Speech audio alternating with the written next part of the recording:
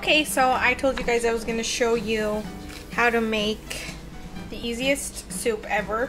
It's so delicious. So all you need is a large can of diced tomatoes, half of that onion, two um, garlic. Uh, it's not a whole clove, but remember what it's called. Anyways, I sound so stupid right now. And then I use two capfuls of Italian seasoning. I typically use about two to three of these little uh, cubes. And then just any frozen vegetables. And also, I'm gonna put some organic spinach in it.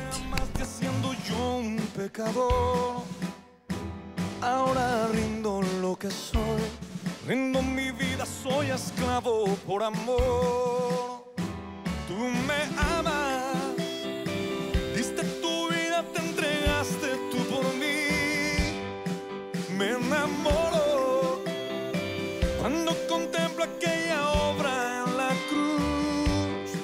Un derroche de amor, el que tú diste por mí.